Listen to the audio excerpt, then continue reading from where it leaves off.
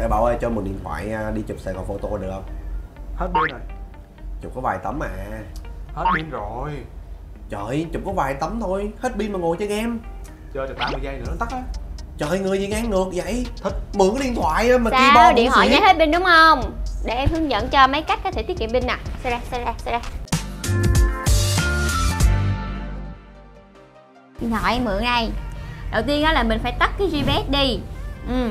Uhm, thường thì khi mà anh download một cái ứng dụng nào đó nó sẽ hiện lên thông báo là yêu cầu truy cập vị trí đúng không? Việc này sẽ làm pin của anh hao đi đáng kể cho nên là chỉ cần ờ, tắt nó đi nếu như không có cần thiết sử dụng.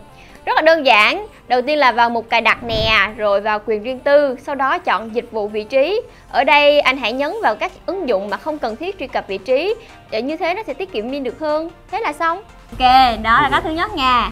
Cách thứ hai là mình có thể tiết kiệm pin bằng cách là bật chế độ nguồn điện thấp tính năng này á, thì thường nó sẽ bật lên khi mà pin còn 20% cho nên nhiều người sẽ không để ý.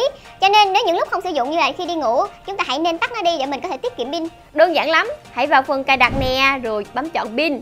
Ở đây bật chọn chế độ nguồn điện thấp. Đó là hai cách rồi đúng không? Mà anh có nghe tới ứng dụng chạy nền chưa? Rồi anh mở nhiều lắm Đó, Dạ cho xịn. nên nó là để cái Win mình phải giới hạn cái ứng dụng chạy nền lại. Ừ. Đối với ứng dụng chạy nền thì để tắt nó, anh chỉ cần vào phần cài đặt, sau đó chọn vào cài đặt chung, rồi nhấp vào làm mới ứng dụng trong nền là đã có thể tiết kiệm pin được phần nào rồi đó. Cách thứ tư đó chính là nó cũng na ná cái hồi nãy nhưng mà kiểu như là tự động tải ứng dụng xuống và cập nhật ứng dụng đó. Chúng ta cũng phải tắt nó đi để có thể tiết kiệm pin. Ờ, để tắt tải xuống và cập nhật ứng dụng thì anh chỉ cần vào cài đặt, sau đó chọn vào App Store rồi hãy tắt ứng dụng cập nhật ứng dụng đi. Ờ, nhưng mà sau khi một thời gian chúng ta cứ sử dụng rồi cứ khắc phục như vậy á thì pin sẽ bị hao tổn rất là nhiều cho nên là đến một cái mức độ nào đó thì anh nên đi thay pin đi và để kiểm tra pin thì chúng ta chỉ cần để kiểm tra tình trạng pin thì anh chỉ cần vào cài đặt nè rồi tiếp tục chọn vào mục pin. Ờ, nhấn vào tình trạng pin. Nếu mà pin chỉ còn dưới 70% thì hãy đi thay nhanh đi nha. Còn nếu mà anh không biết thay pin ở đâu á em mắt nhỏ luôn. Hãy qua Minh Tuấn Mobile ngay.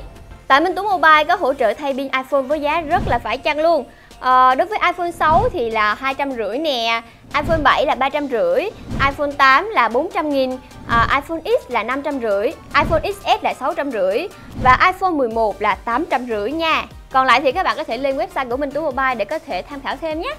Đó vừa rồi là những cái dòng iPhone mà kiểu như có khả năng là nên thay pin nhiều nhất. Ở Minh Tú Mobile giá rất là ok luôn. Anh xem thử mấy anh có sắp thay chưa đi thay luôn đi. Thôi anh thay luôn khỏi cần coi. Ê vậy cho anh mượn chụp hình đi rồi anh thay giùm luôn cho. Ừ, Được đi. Ờ gì kỳ vậy? Người gì ngang ngược